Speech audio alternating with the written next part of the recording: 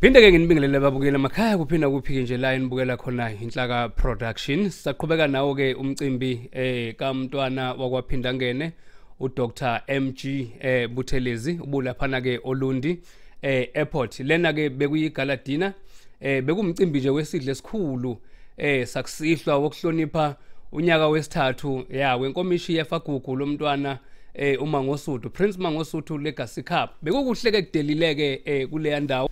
Mbukele ke lapha ekhaya ake singeneke ngaphakathi ke ukuthi ke ngaphakathi eh bekunjani? Ngenhlanhla ke sifice ke eh kusasetshenzwa lapha eh uma ubheka ke nje uyabona ukuthi eh lo mcimbi useqophelweni eliphezulu kakhulu eh ulingana impela eh nezinga umntana wakwaphinda ngene akulona i-sound system ke ya laba bafowethu abaqhamuka eh Richards Bay.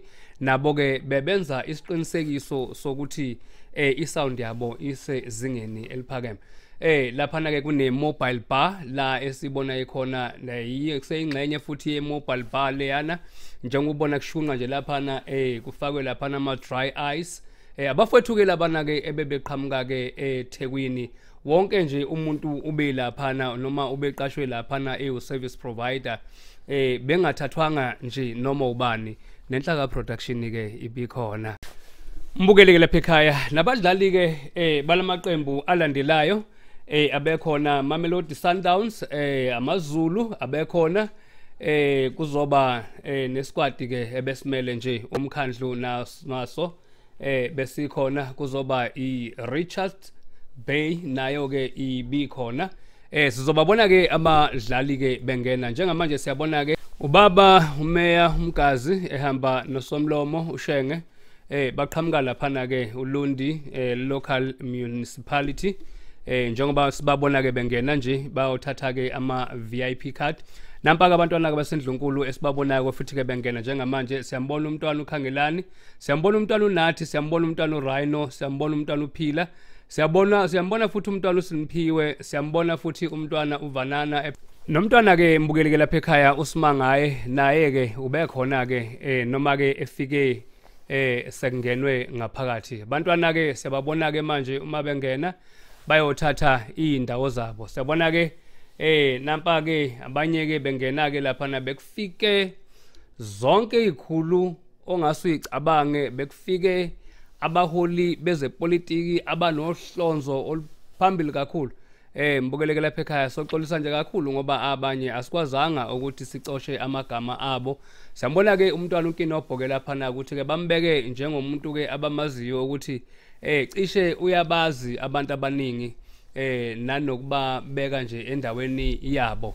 Laphana ke siyabona ke nje njengoba kuphithizela nje laphana eminyango eh balinde nje umntwana wakaphinda ngene amalungu ke lana ke enathu. Mbukeleke lapha ekhaya ake nginikeze ke uphakamani ke laphana ke. Shenge sokwalisa awuphawule. Kuthini kuphawula kwakho?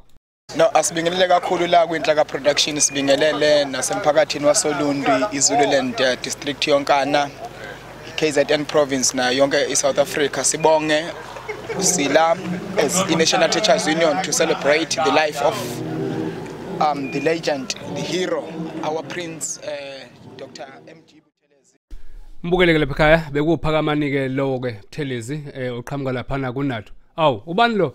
Hey indaba ezitha. Nizomkhumbula eh umntwana ke lona ke uToti eh ube yimanager laphana eh Olundi local municipality. Uhamba ke nowa kwakhe eh akasekho ke la eh uselena ke emhlathuze municipality lapho esekhona. Sikujabulele ke futhi ke eh ukuthi siphinde sibe naye. Eh nangomunye hey mahlobo eh untombela ke lo we NFP eh esimbonayo ke laphana ke eh engena. Eh nomunye nje wodadewethu njoba ngisho embukela lapha ekhaya ukuthi niyosixolela kakhulu ngokungawazi eh amagama abo. Siyabona ke lapha ama officials or reps eh bazama ke ukuhlela eh ungena eh kwabantu Mbukeleke lapha ekhaya. Siyabona ke umntwana uNkinopho engena ke nabanye babadlali bamaZulu eh uyobabeka nje endaweni yabo eh ebafanele. Aw ubani lo? Oh umntwana ke lo unondumiso eh esimbonayo eh engena lapha eh naye futhi naye bamtshengisa indawo lapho azohlala khona. Eh njengamanje ke silindeleke ama players eh ukuthi angene ngaphakathi. Nakho ke siyababona ke bezongena ngaphakathi ama players ke la eh ah i Richards Bay le eh engenayo la ngaphakathi. Nayo ke izoba ingxenye eh yokuzobeka eh indlebe emazwini kamntwana eh wakwaphinda ngene eh uDr MG Thelezi. Njengoba kumbukeli lapha ekhaya ngizobuya ngokukhumbuze ukuthi eh lo mcimbi phela eh yilo wesidlo nje esikhulu sakusihlwa wokuhlonipha unyaka wesithathu wenkomishi yefagugu lomntwana eh uMangosuthu Prince Mangosuthu Legacy Cup. Eh njengamanje ke siyabona ke kungena ke abadlali eh noma ama players eh Mamelodi Sundowns nabo ke futhi ke bathi ke ngeke sisale ngaphandle eh angeke siluzwe noma ngeke singawezwa amazwi womntwana eh wakwaphinda ngene mbukele ke lapha ekhaya ngithanga ukukhumbuza ke futhi ke okunye ukuthi ke iqembu ke lamaZulu eh siyazi ukuthi linomlando eh eh omude nokuthi usukaphi. Eh umalume ke ka Dr MG Buthelezi eh okuyisilo uSolomon kaDini Zulu. Yena ke ke owasungula ke eh leli qembu ke eh lamaZulu eh ngonyaka ka1932 Enkulume enkulumeni yakhe ke umntwana waphinda ngene ukubalile ukuthi akazokusupporta nanelilodwa iqembu kusasa. Eh kodwa ke njengoba igama lakhe eh liwu Dr Mangosuthu akanayo ichoice akanayo indlela ukuthi kungenzeka kanjani ukuthi angawasupport amazulu. Njengamanje ke semukele umntwana kwaphinda ngene ongenayo. Mntwana kwaphinda ngene ke bamukele ngenkulu inhlonipho nangesikhulu isizotha. Siyabona ke lapha na ke umhlonishwa umeya waseZululand eh district municipality eh ushenge. Eh siyabona ke futhi ke lapha na ke no Prince eh untuthuko. Eh siyabona futhi ke no mhlonishwa uhlabisa. Eh nabantwana basendlunkulu ke ibona ke futhi ke abamemukelileyo lapha na ke eminyango umukelwe ke ngomkenenezo omnandi ebe ebuculwa ke lapha na ke eh umbuso eh khoza. Eh nabo ujabulele kakhulu ke abahlonishwa ngaphakathi eh umthatha nje lomculo uyombeka phambili lapho abeya noma abelungisela ukuhlala khona Um, ladies and gentlemen, umbuso Khoza and neband yakhe asimshayele nje elikhulu ihlombe for a brilliant work that he has just uh, performed. amazwana amazwana Ladies and gentlemen, this marks the official Mike Mike start of the evening yethu namhlanje. I will be the program director for tonight, igama uh, Alex Mtiane. And it's an honor ukuthi sibe khona to witness the Prince Mangosuthu Buthelezi Legacy Cup dinner that marks the beginning of other festivities. We would like uh, to acknowledge wonke ama-guest ethu ekhona sokwalisa ifamily yonke yakwabuthelezi shenge Mbukeleke lapha ekhaya. Alex Mthiyane ke lo obe umqondisi ke walolu hlelo eh emva uba esethuleke eh indlu yonke eh ngokulandelana kwayo eh ubese ke ecela ke umfundisi ukuthi azovula ngomthandazo. Nafike ke naye ke wagadla ngezakhe.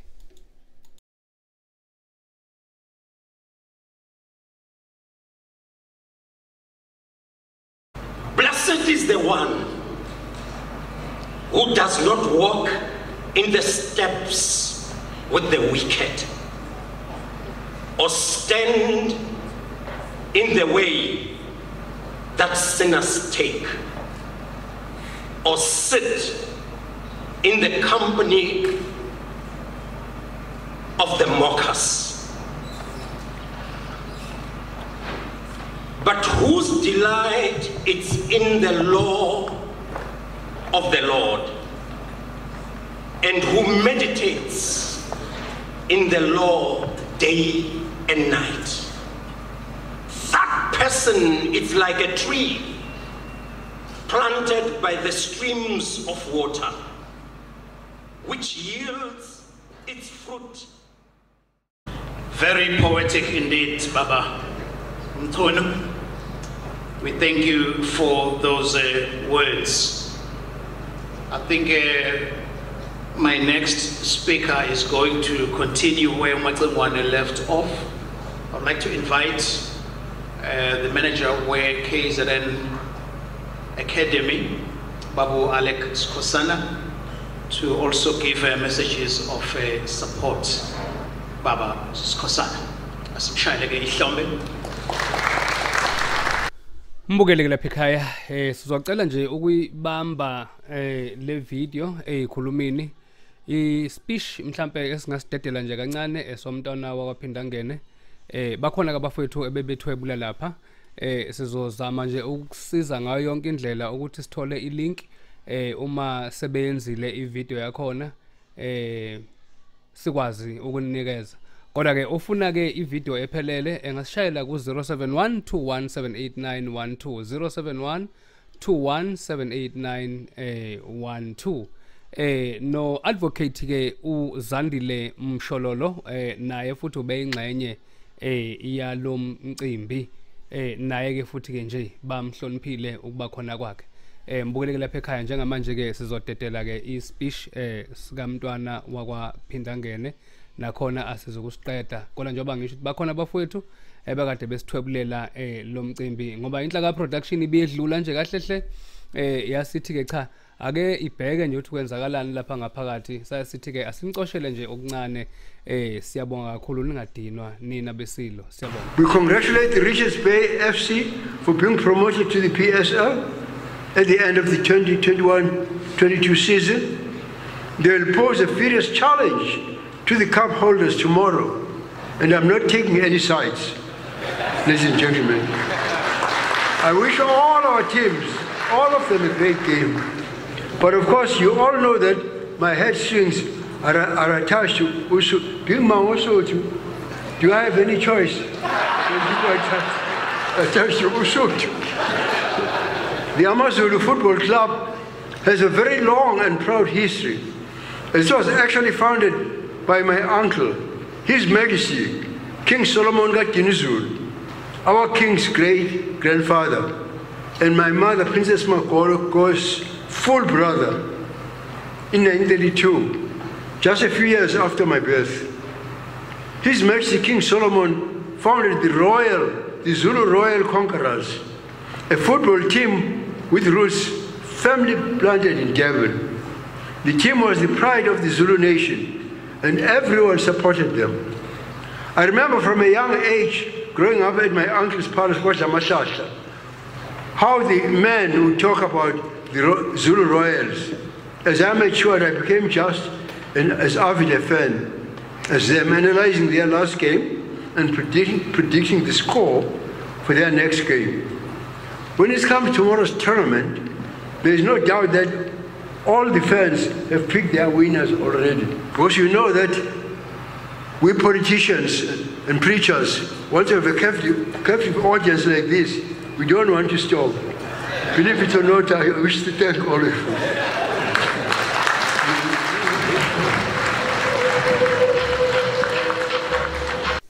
mbukeli lapha ekhaya sithi ke asibambe nje la kodwa ke sifonele ke eh ku 0712178912 eh uma ufuna ke ama video eh aphelele noma ipish eh eyiphelele eh zalomcimbi kodwa ke njengoba ngisho ukuthi ke sizozama ukuthi sinithumelele ilink uma abafowethu sebeqedile ukuedita eh lo msebenzi sizonithumelela ku Facebook sinithumelele futhi ku YouTube kodwa ke ma uthi uyaphuthuma ke ufuna isipishi somntwana eh uzosithola kule number futhi nawe sizokuthumelela online. Siyabonga kakhulu.